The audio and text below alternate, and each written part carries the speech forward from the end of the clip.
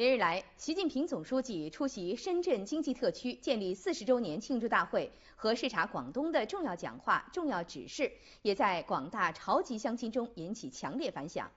大家表示，要发挥各自优势，大力弘扬潮州文化，同心协力支持祖国家乡建设，把潮州建设得更美丽。潮州要大力营造重视人才、尊重人才的社会风气。出台行之有效的人才政策，吸引海内外英才齐聚潮州，建设潮州。希望在不远的将来，潮州能够实现本土人才走向全国、走向世界，在广阔的世界舞台上为潮州发声，为中国发声。